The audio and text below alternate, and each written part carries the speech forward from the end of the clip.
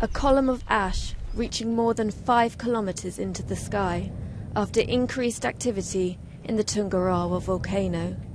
Ecuadorian authorities say an explosion in the volcano on Sunday could be felt hundreds of kilometres away. The dust visible well over 100 kilometres away in the capital Quito. Authorities declared an orange alert, the second highest warning level, and said that more than 200 people had been evacuated from the locality. Tungurahua, or throat of fire in the indigenous Quechua language, became active again in 1999 after a long period of dormancy. Bea Cat, BBC News.